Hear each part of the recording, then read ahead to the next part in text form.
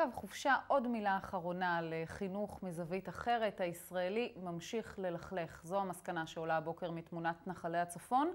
חופשת הקיץ כבר מסתיימת, כמוה גם חג העיד אל פיטר. ביום שאחרי שלחנו את רן בר מעוז וירדן אשכנזי להצטרף אל פקח שמורות הטבע. זה אכן נראה כמו היום שאחרי. הנה. אתם באים לפה הרבה? כן. סביר להניח שאם תשאלו את אייל ארצי במה הוא עוסק, תתמוגגו מקנאה. בכל זאת, חלק ניכר מהעבודה שלו הוא להסתובב בין המעיינות, המסלולים, עוצרי הנשימה ושאר פילי הטבע של הגליל, ולשמור על הסדר. לא להשאיר זבל בשטח, וגם לא לתלות את השקית או להניח אותה. אז רק חבר'ה, תשאירו נראה נקי. ככה, מתברר שאוגוסט 2012 בגליל לא ורוד עבור כולם.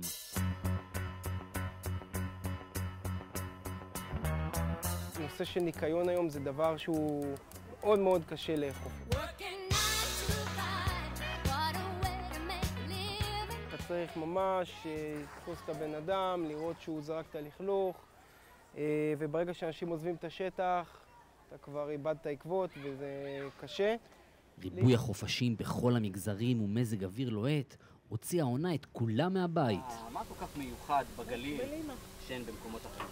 זה יותר זול. המשוואה היא פשוטה, קחו חג למוסלמים, סיום בין המצרים לחרדים וחופש גדול לחילונים, תכפילו את זה בחום הלוהט של אוגוסט, חלקו את זה במים הצוננים של נחל חרמון הצפוני, והתוצאות לפניכם, פקק אנושי גדול יחסית לשנים עברו. בחודש האחרון העבודה היא הכי הכי קשה. אנשים הם אה, רוצים להגיע למקור מים בעצם, כי אין כמעט אפשרות אחרת.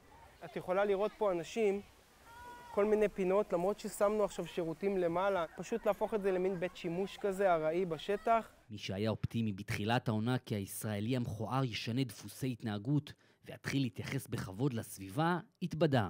ערימות זבל לא אורגני בעליל בכל מקום, זה לא מגעיל אותך?